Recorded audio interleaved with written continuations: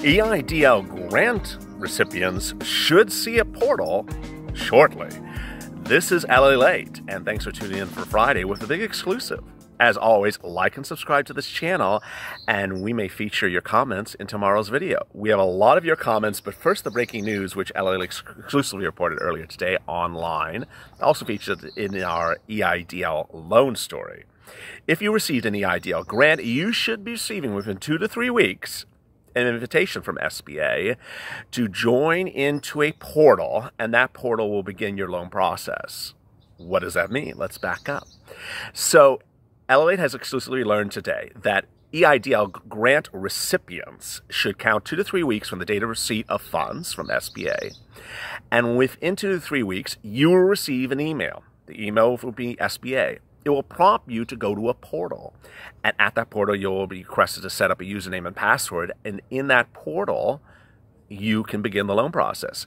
As detailed on LA-Late, just because you received a grant doesn't mean you're going to receive a loan and there are different elements involved. What does the email actually state? Here's actually a, the exact language of the email. It will state your SBA application number is ready for the next step. Create your SBA Economic Injury Disaster Loan Portal account to provide additional details or requested documents. That's courtesy of MS in his his or her comments. But as LA exclusively learned today, that you should be receiving that email within two to three weeks. So, if you received your EIDL grant last Friday, which was a big drop, a lot of people received their EIDL grant money last Friday, expect this email to come as early as next week. Also, and a lot of you have dropped in the comments, if you wish to decline the loan, you can also decline the loan. You do not have to accept it. All right, let's get right to your questions. KG says applied on March 30th first. No email, no advance, no credit pull. Called was told bank information does not match. It does. I read it off and it does. Waited a week and then called back and my application was flagged as duplicate. Oh, because I entered oh, zero zeros in EIN. Well, I don't have an EIN. I filed Schedule C. I told the rep the form wouldn't let me bypass it. She shrugged it off and says, Yes, the whole application is flagged as duplicate. At this point, I'm done.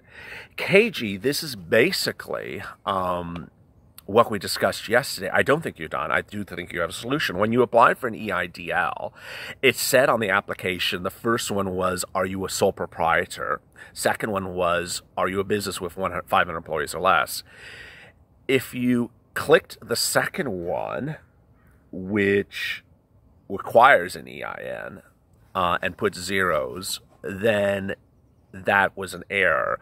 But if you click the first one as sole proprietor, then all you had to put in was your social security number. So to recap, KG, KG, if you had clicked sole proprietor and put in zeros, then just call us SBA up and say, I made a mistake, I forgot to put my social security number in. If you click the second one for a business 500 employees or less, then you are potentially done. That application was calling for businesses, not sole proprietors. Now, you can ask SBA, can you fix it? And maybe they'll fix it for you. Black Apathy says, I'm theorizing a lot of us are not even making it to the system to be confirmed for a grant because there's just too many applications. Due to so many applications, a possibility of overwhelming errors. You know, if you watch the EIDL loan we produced today, Someone in the comments out of Pennsylvania said the system crashed in Pennsylvania and the loan officer had to download all the forms manually and that when he is not in the office, nothing gets um, pushed out. It's unclear how many processes there are and in how many territories of the country. So if the system is crashing routinely in your part of the country as it was in Pennsylvania, are forms having to be done manually? That's the big question. All right. Chris says, I called SBA today after I was called called yesterday. Both days I was connected to a tier two representative and was told on both days to wait and was still being processed and asked if there was any problems. I told no problems that I may receive 1,000, oh, excuse me, 10,000 instead of 3,000. I have only three employees and I applied for a third I applied the 3rd of April, as you mentioned in yesterday's video, that everyone should have had their grant by now, but not everyone as I have applied on the 3rd. Thanks again. Great point, Chris. As we indicated, not in yesterday's video, but maybe uh, early in this week, someone uh, we had learned that for some bizarre reason applications that were put in in mid-april were paid in late april before applications in early april it's really not clear and what i'll add also is that we're now hearing that applications are being processed faster in some territories of the nation that it's not being done through one central location so just as you heard in our eidl loan story today stuff in pennsylvania is just a hot mess, where other part of the countries they aren't having problems. So there may be that issue as well. June says, So I filled out the documents wrong the first time. I didn't apply as an individual but used my social security number. Should I reapply to fix or should I have applied as an individual? Uh, June, you can't reapply, um, but you can always try to fix. So let's see what you can fix. I didn't apply as an individual, but I used my social security number. Okay, June. So if you applied as a business with 500 employees or less, you needed an EIN. If you have that EIN, call up SBA and give it to them. If you apply as a business with 500 employees or less and listed as a corporation or a um, an, uh, or listed as an LLC, I would presume you have an EIN. Now, if you listed as a DBA or just as a as much of nothing, then your personal social security number should be enough. But they need to uh, be able to identify it. So in that regards, definitely call SBA. Uh, AB, thank you. Great stuff. All of your videos. Oh, well, thank you, AB. All right, George says, so I applied on the April 11th. Should I wait or call? I was told it's they're four weeks behind. I put down two employees, but I filled as a sole proprietor. Is that a problem? I put down the name I use as a business name. Is that a problem? And I put down the name I use as a business name. Everyone on here had nine different things to do. Seems they might have been using giving bad advice. So George, um, you can't generally change the number of employees. That's that is the most common question. Can you change from eight to ten? Can you change from five to six? No. If you put zero, they'll change it to one. But if you put two and you want it to be three or four, no. Um, as to the name of the business, um, if you applied as a sole proprietor, then you would have put your name and your social security number and you're fine. If you applied as a business, then you would have to put the business name and the business EIN. If you didn't do either of those, then you need to fix it by calling SBA. Richie Porter, sorry about the last comment. I was trying. I was saying I applied on April 3rd. I received a credit alert on April 28th, and on May 5th, I called and spoke with a tier two representative, and was told I haven't received my grant due to my personal account instead of my business account information. I called back to change my account info. So he watched the video, and he realized where the error was. And I was told by the tier two agent that as I noted on my account, I changed the information, and the loan officer was the only person who could make the changes. Wow. How long will it take for an loan officer to make the changes for me to receive the grant? Okay, so here we're getting into this sort of geographical problem. As you'll hear in the EIDL loan story today, one person indicates that in Pennsylvania you have to get this one person on the phone who's a loan off, well, you have to hope this one person is in the office who's a loan officer because their system crashed and that everything is dependent upon this one person who downloaded the forms. In other parts of the country, there have been a, there have been a lot of comments here um, by people who have been able to have things fixed on the telephone. We featured a lot of those comments yesterday. People got things fixed. It is hard to say if it's the result of the person you get on the phone or if it's the result of where your application was filed. If I clearly don't know the answer. So what I would suggest to do is call SBA again and really, as, as indicated in today's video, even two people telling you is not enough. At this point, you really need to have three people until you start hearing the same thing repeated to believe it is exactly true. Um, it is very commonplace for commonplace for one SBA representative to say one thing and another one to say something totally different. Rosie, are we able to apply for the EIDL if self-employed driver drop off and pick up, um, not having business accounts? Thank you. Yes, you're allowed on EIDL as first prong to apply as uh, self-proprietor, independent contractor. Um, if you click that, then you're good. As always, the EIDL process is closed, so you can't apply for something new. Uh, G Farms Chron- oh, G Fams Chronicles say I got the EIDL, but it definitely wasn't the ten thousand. What happened? Do they have? Do they give the full amount? Um, they're not. why? We all know why. Um, they're digressing, as reported on this channel since day one. Their SBA is digressing from the CARES Act and only paying $1,000 per employee. Um, it's not the law. They're not following the law. But the good news is that if you want to proceed with the loan, it's an advance against the loan, and that you potentially could get that with the loan.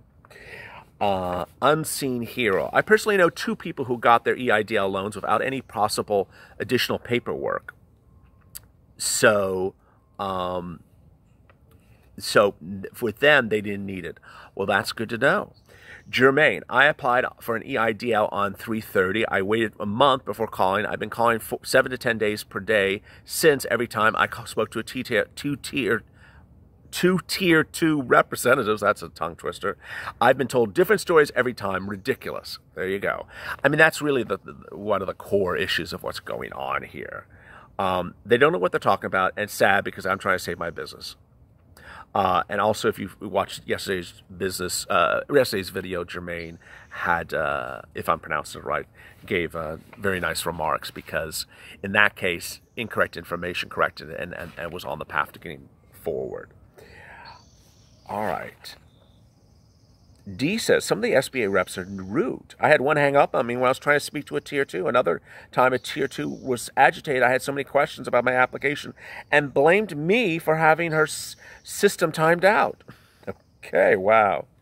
She tried to make it clear to me that if I what I called back again, not to tell the representative. Oh wow! So uh, I won't go into the the remainder of it, but D says it is just a it's just an effort. Uh, understand that, you know, that's what you're dealing with. Katoki says, Thank you for taking the time to reply to my comment the day before yesterday. You told me to keep calling for answers, and I did. I found out from an SBA rep that my digit of my social security number was off! Exclamation point.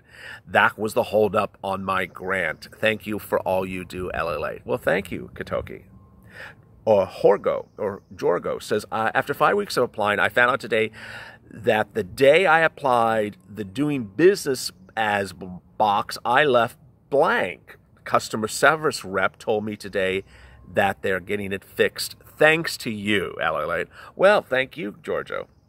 As you see, if you get someone on the phone that is competent, they will fix it for you. Those that tell you that only the strange person who's on vacation and is, uh, you know, having a cocktail down the street and will be back in five weeks, just call back. Say thank you and hang up the phone and call back and start over with a new person. Beauty Expert Studio says, I know that I messed up. I do have an EIN and I'm a sole proprietor, but now I have an LLC and my EIN, EIN doesn't match my business name. When you're learning about business, shaking my head. Yes, Beauty, but what's important is what you applied at the time. So if you can cue it up and fix it, then that's good. If you applied as a sole proprietor, you don't need the EIN. You only need your social security number. So if you did that, beauty experts, you're fine. Don't worry. Ricardo, another great video. Well, thank you, Ricardo, and thank you for watching and your kind comments as always. Matt, my friend applied Monday for an EIDL grant. He was given a number, and the next day he got an email that the next day saying his application was denied because it was agricultural only. But he is in the agriculture, but he thinks he hit the wrong button. He replied and seems to be and and is waiting to see what I expected. Well, that's sort of interesting. Um, we've only had two people uh, comment on all our, you know, half a million views. What a what a great run it's been the last few days. That have been agricultural, uh, that applied for that agricultural EIDL um, form on Monday. As you know, the form that went live on Monday was only for agricultural businesses 500 or less. And this is only the second one. Um, no further updates from that other person, but only the second one. So it's not quite clear how they know it's an agricultural business. Um, clearly, if the name sounds like it, maybe that's the cue, but and also the name clearly sounds not like it, like a roofing company or a uh, pool supply company. Why are you applying for an agricultural loan? Um, Conjure says, Matt, weird. An SBA agent told me to reapply despite it being for agricultural since I applied before. Well, there you go. Bad reps are everywhere.